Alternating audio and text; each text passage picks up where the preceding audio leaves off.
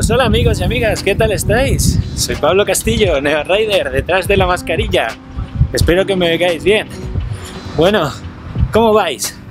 Pues yo voy al fisio, a mi fisio de confianza, porque como ya os dije en este último live talk, tengo una pequeña molestia en el gemelo izquierdo y vamos a ver qué le pasa. Así que nada, acompañadme. Esto será un vídeo diferente y vamos a ver qué le pasa.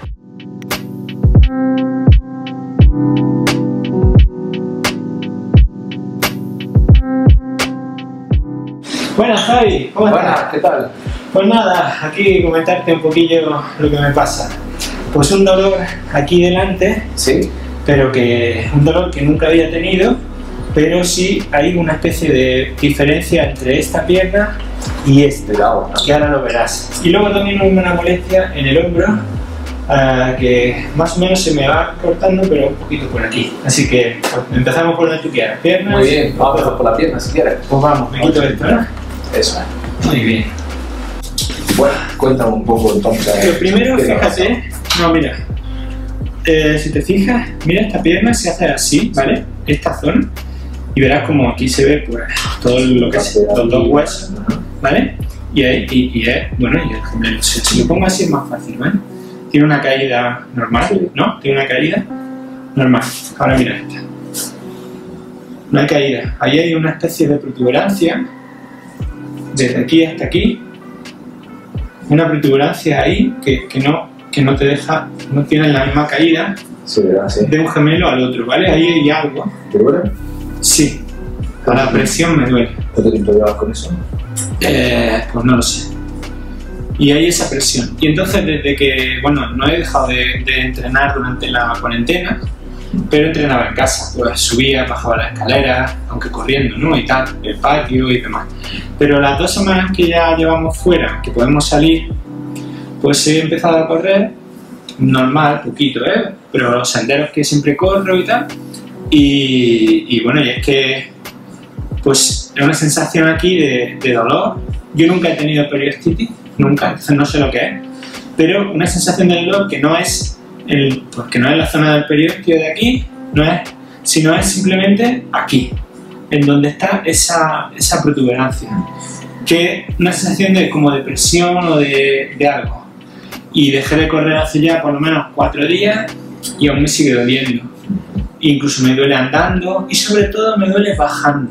Claro. Cuando bajo una cuesta me duele. Entonces, pues esa es un poco la explicación para que tú puedas hacer tu, Pues vamos a ver, tu historia. Vale. Ponte cómodo. Pues Déjame bien. así. Así apoyado.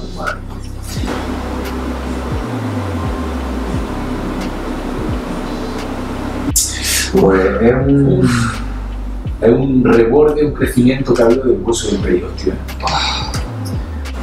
Ahí yo mi recomendación es que, que, te, lo, que te lo vea algún médico especialista, igual en eso.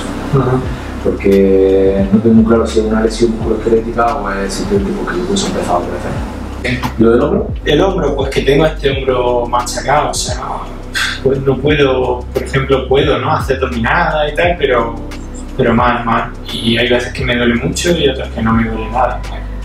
Vamos. Y no sé en qué parte está dañado. Voy a cambiar de lado, ¿vale? Sí, ahí molesto menos que... Bueno, lo que aparece es una tendinosis del supraespinoso. Tendinosis leve, no es muy agresiva, pero suficiente para que te tornilla Claro. y tenga esa molestilla.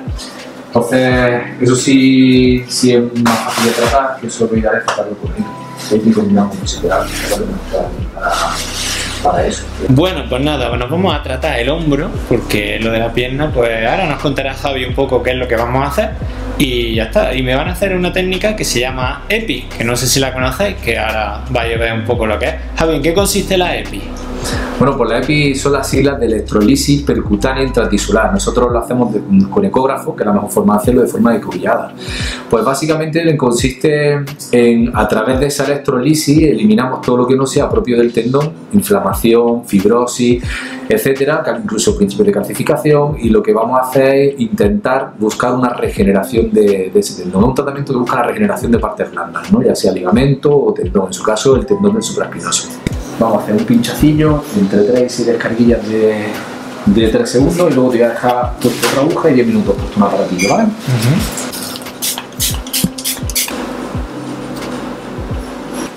Molesta un poquito, ya sabes.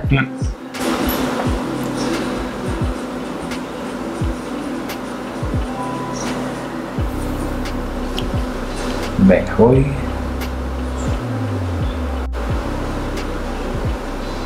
Ahí estamos, vamos a activar el aparato.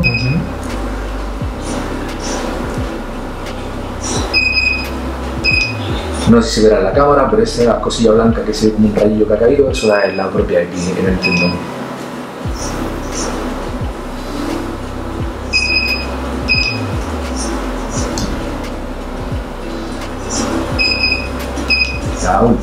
La EPI no es algo para gente que sufra de dolor rápido.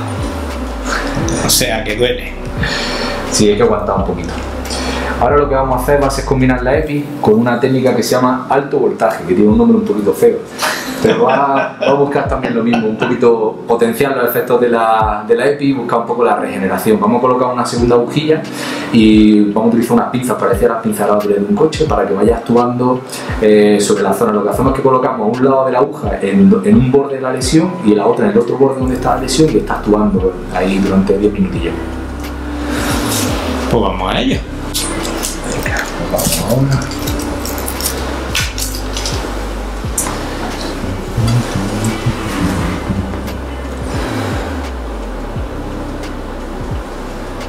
Venga, voy.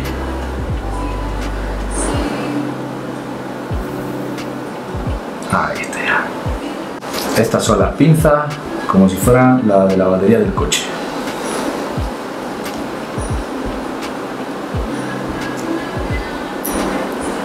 Ahí va. Bueno, subiendo la intensidad, puede ser que te moleste un pelín al final. Y puede ser que no te hormiguillo la mano, ¿vale? Ya un truquillo, igual ahora empieza a notar algo.